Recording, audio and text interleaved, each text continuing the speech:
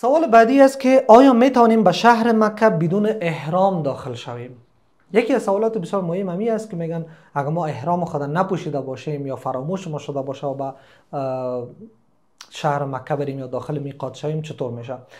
وقتی که شما از خانه مبرین به نیت ازی که من میرم به طرف مکه و عمره انجام میتم بر شما لازم است که حتمی و ضروری باید از احرام پوشیده باشین. زمانی که شما از میقات عبور می‌کنین باید از با چی باشین؟ با احرام باشین. در حالت احرام داخل شده باشین. نیت عمره را انجام داده باشین.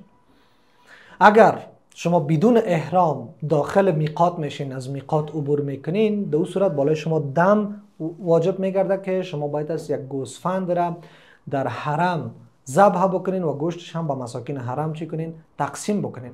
از خاطر بهتری است که قبل از اینکه شما حرکت می‌کنین در خود میدان هوایی وارد احرام شوین. یعنی که مردها مو احرام خود بپوشن نیت بکنن و خانم ها با لباس عادی که گفتیم نیت عمره را انجام میتن و باز حرکت می‌کنن بخیر به طرف مکه. اما اگر یک شخص نیت عمره را نداره میره به طرف مکه به خاطر از اینکه مثال یک تجارت می‌خوای انجام بده یا به دیدن یک دوست خود می‌خوای بره یا خانهشان در اموجاست میره که به خانه خود بره در صورت یعنی حتمی و ضروری نیست که حتما باید از احرام داشته باشه. اما چرا ما از هر موقع استفاده نکنیم؟ هر زمانی که شما میرین به طرف مکه یک موقع بسیار خوبی است که شما عمره هم انجام بدین احرام بپوشین نیت عمره را بکنین و برین اول عمره تان بکنین و بعد از او باز برین با دوستتان با فامیلتان یا با تجارت و کاروبارتان انجام بدین انشالله